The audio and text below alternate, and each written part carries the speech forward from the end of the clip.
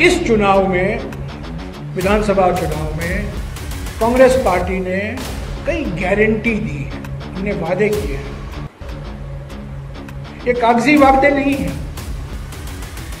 हमने कर्नाटका के चुनाव में छह गारंटी दिए और एक ही हफ़्ते के अंदर सरकार बनी और एक ही हफ़्ते के अंदर सारे के सारे छह गारंटी लागू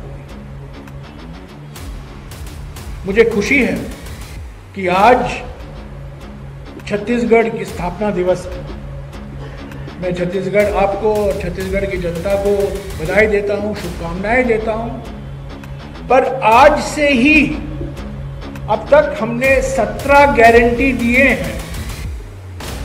और आज कई अखबारों में आपने देखा होगा ये सत्रह गारंटी हमारी पार्टी की ओर से जो हमने अभी तक जनता के समक्ष रखा है। पर इसमें सिर्फ़ सोलह दिखाई दे रहे हैं, सत्रह नहीं। कारण यह है कि वो सत्रहवा गारंटी आज से लागू हो गया है। इसीलिए यहाँ सिर्फ़ सोलह गारंटी गिने।